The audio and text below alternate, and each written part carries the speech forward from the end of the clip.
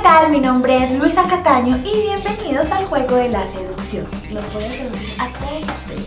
Tenía que llegar la parte alegre a este equipo.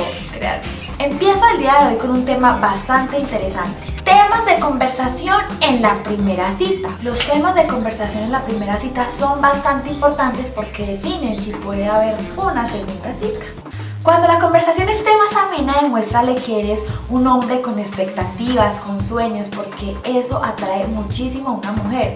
Saber que un hombre está muy claro en sus ideales. Porque cuando le empiezas a hablar de tus sueños, de tus metas, de tus proyectos, la mujer empieza a sentir que te está empezando a conocer. Así que eso es un punto muy importante que no puedes olvidar. Les voy a decir algo que es de corazón y muy personal.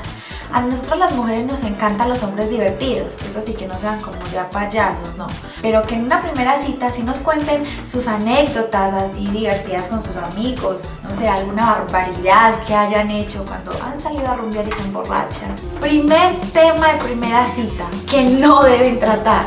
Jamás hablen de sus exnovios, en serio, no, no metan a los exnovios en los primeros temas porque realmente para que eso de pronto en una segunda cita que a veces hablar de los exnovios se vuelve, creo yo, aburrido. O bueno, a mí me pasa cuando me hablan de sus exnovias. Maluquísimo eso. Es genial que en tu primera cita rías, seas divertido. O sea, no vas a pasar pues como por tonto, no. Pero sí que seas muy varonil, pero a la vez mm, con tu toque de gozadera, así la llamaría yo. No le vengas con cuentos de tristeza, en la primera cita nadie quiere saber tú qué problemas tienes, de verdad, no le hables de problemas ni que debes dinero, no, evítalo por favor.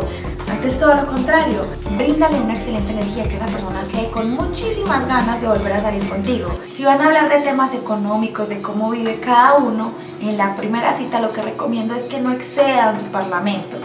Soy toda una chica de 20 años dando clases de seducción. Ah, no, mentira. Bueno, hasta aquí el video del día de hoy. Espero les haya aportado algo muy positivo. Importante, lo que les voy a decir, importante. Suscríbete por favor y si quieres aprender cómo seducir a una mujer, dale click aquí en el enlace de abajo. Los espero, denle manitas arriba y compartan este video con sus amigos seductores. Yo soy Luisa Catania y les